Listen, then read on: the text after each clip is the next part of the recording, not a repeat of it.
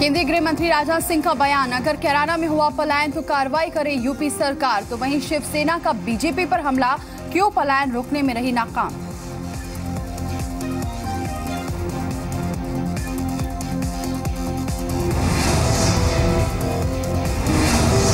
उत्तराखंड में विधायकों की खरीद फरोख्त की स्टिंग के मामले में आज नैनीताल हाईकोर्ट में सुनवाई? हरीश रावत से सीबीआई पूछताछ के मामले में हो सकता है फैसला। 24 मई और 7 जून को दो बार हो चुकी है दिल्ली में पूछताछ।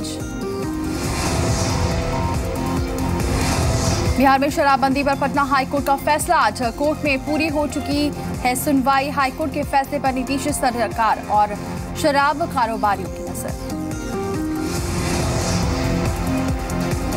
एनएसजी पर चीन को मनाने में होंगे कामयाब। विदेश मंत्री ने कहा, चीन का विरोध सदस्यता को लेकर नहीं, प्रक्रिया को लेकर है।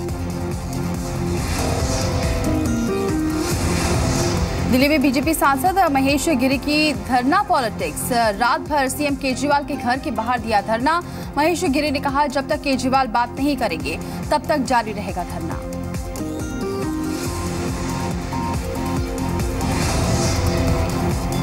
यूपी के मुरादाबाद में कार में दम घुटने से दो बच्चों की मौत। खेल खेल में कार में लॉक हो गए थे बच्चे। परिजनों में मचा कोहरा।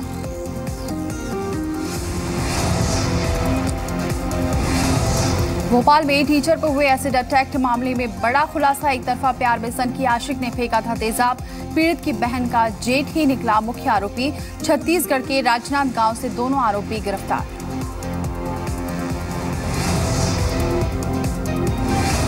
भारत जिम्बाब्वे के बीच दूसरा टी ट्वेंटी मैच आज हारे तो धोनी को पड़ेगा सीरीज़ से हाथ धोना।